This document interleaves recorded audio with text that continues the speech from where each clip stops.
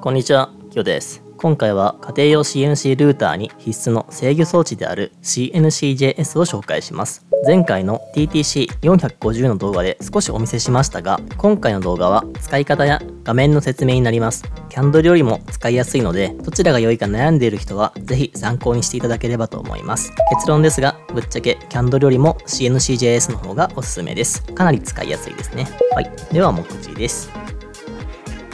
冒頭でお伝えした通り、えこちらオープンソースの制御装置となっています。これがないと家庭用 CNC ルーターで確保することはできません。これ以外にキャンドルであったり、いろんなソフトはあるんですけれども、基本的に僕は CNCJS をおすすめします。キャンドルを勧められたんですけれども、まあ、勧められたんで最初はそれを使ってたんですけども、やっぱり使いづらかったんですよね。CNCJS の方は画面も見やすくて、日本語に対応していて、フォーラムがあるため、質問できるのがやっぱり大きいですね。キャンドルは長らく更新が停止していて、日本語非対応で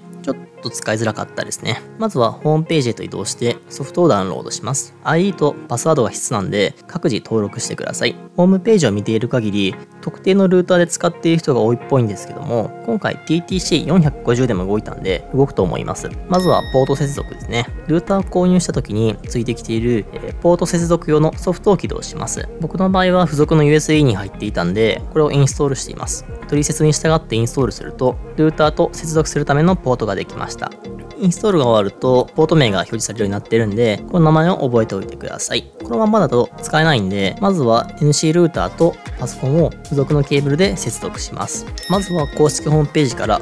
え CNCJS をダウンロードします。インストールすると、まあ、ソフト起動時にログインを求められるんで、えー、先ほど登録しておいた ID とパスワードで、えー、ログインしましょう。適当なファイルにインストールもしてください。ダブルクリックで起動するとメイン画面へ移動します。え、画面左上のポートのトグルを選択します。そうすると、開放したポートが選択できるようになっています。開放したポートを選択して、下にある接続をクリックしてください。接続ができていたら、画面右下あたりにコンソールが表示されます。オーバーライドで主軸の回転速度や送り速度を変更した際に、このコンソール画面に表示されるようになっています。まあ、僕はあんまり見てないですけれども、ルーターと接続したことで、今までできなかったファイルのアップロードができるようになりました。パソコン内に保存している NC データを CNCJS に読み込ませましょう。問題なくアップロードができていたら、画面中央に CAM で設定したパスが表示されるはずです。加工に合わせて画面内で刃物が動いていって、青いパスのラインが消えていきます。視覚的に見ていて分かりやすいんで、見ていて楽しいですね。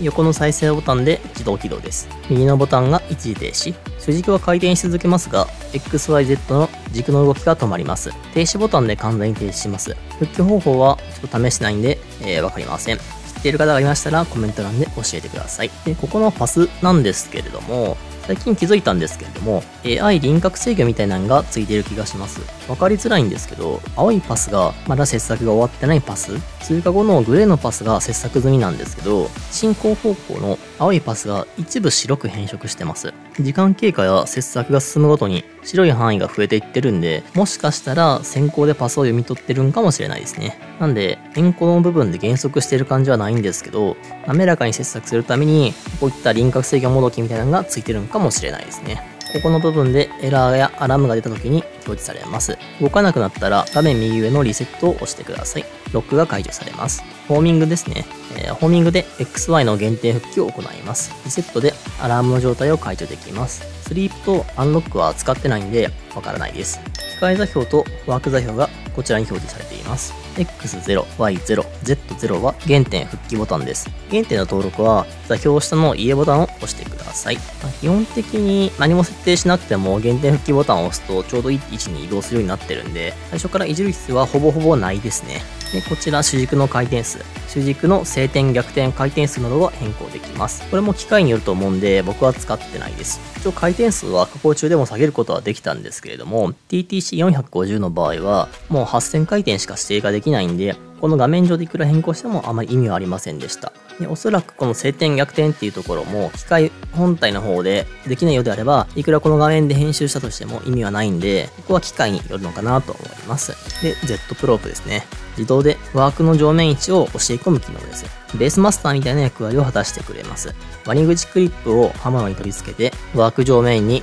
ベースマスターもどきを置いて、Z プロープを選択すると、刃物が自動で加工します。もどきと接触すると反応した位置をワーク上面と認識してくれます。ですので、プロープの厚みに、えー、ベースマスターもどきの厚みを入力しておいてください。そうすることで自動的にこのもどきの厚みがマイナスされた状態で計算されて、自動的に記憶されます。その後は XY を限定復帰して加工に移ります。この時に Z 軸も動かしちゃうと、おそらく位置がずれてしまうと思うので気をつけてください。でここの項目で最大 Z プロップを押した際に何ミリ加工するかっていうのを決められます。指定した数値以内で、えー、ベースマスターモドキと接触しなかった場合はエラーになります。僕のやり方が悪いのかちょっと CNCJS との相性が悪いのかわかんないんですけれども、Z プロープで高さを指定してもワークに突っ込んでいくような動きをする時があるんですよね。動画で上げてるかわかんないんですけれども、えー、ワーク上面ギリギリ、もう本当に2ミリ、3ミリのところで主軸が回転していって、まあ、節約開始の位置まで移動その後、え Z 軸がプラス方向に上昇して、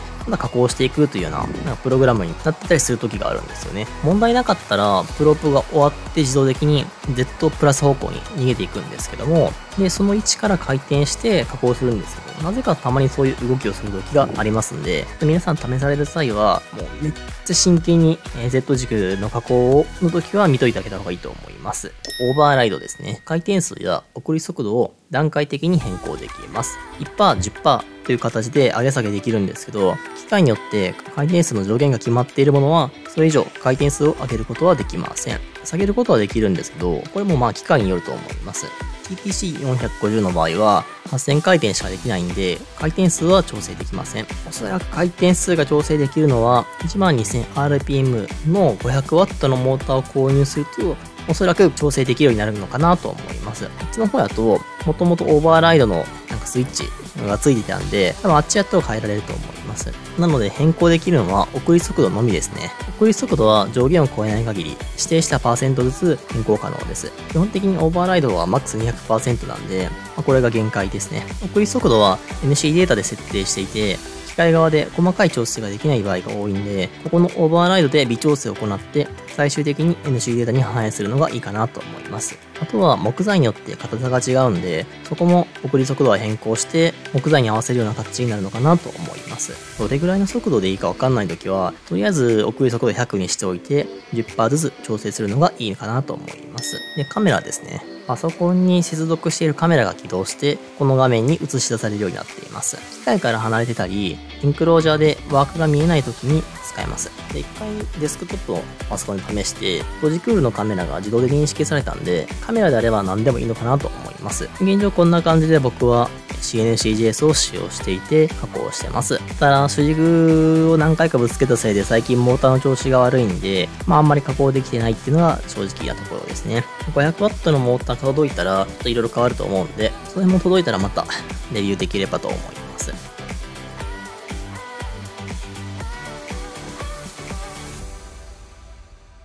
まとめ。まあ、こんな感じで視覚的にも非常にわかりやすくて見やすいんで、キャンドルよりかは正直おすすめです。キャンドルも、まフリーのソフトなんで、気になった方はどちらも試してみて、使いやすい方を使えばいいと思います。では、また次の動画でお会いしましょう。